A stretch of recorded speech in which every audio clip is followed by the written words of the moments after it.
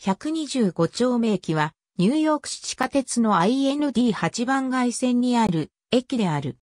ニューヨーク市マンハッタン区ハーレム地区の125丁目とセントニコラスアベニューの交差点にあり、A 系統と D 系統が終日、B 系統が平日のみ終日、C 系統が深夜を除いて終日停車する。付近にはアポロシアターやトゥーロカレッジのオステオパシー医学部などがある。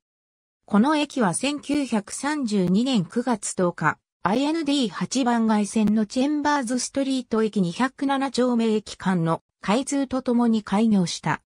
1981年、または老朽化の進んだ69駅の中にこの駅も挙げた。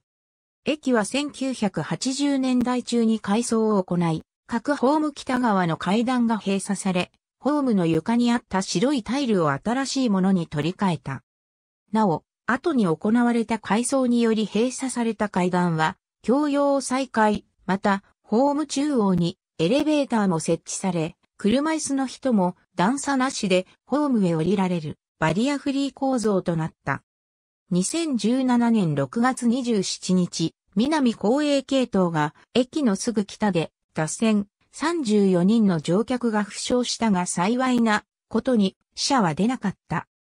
原因はこの区間のレールの交換の際に不適切な接続を行ったためであった。入り口ホーム外側の壁には横に緑のラインが入っており、その下に等間隔に黒地に白で125と書かれた小さい看板が設置されている。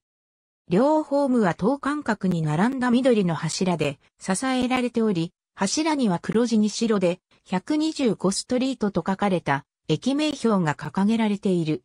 駅南側には中2階があり、ここに改札口とホームの端と端を連絡する通路がある。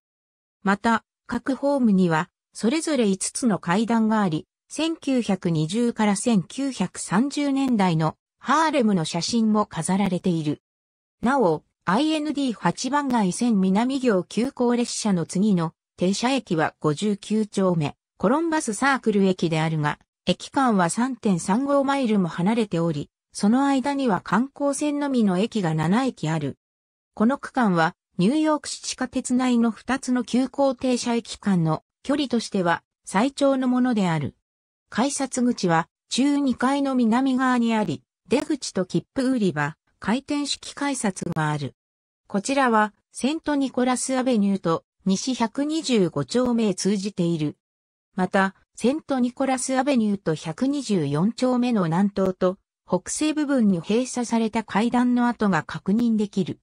反対側の127丁目へ出る北側の改札口は回転式改札のある無人改札口である。また、中2階両側に一つずつ126丁目へ出ていた階段の跡も残っている。階段の一つは以前存在していたビルの地下階に接続していた。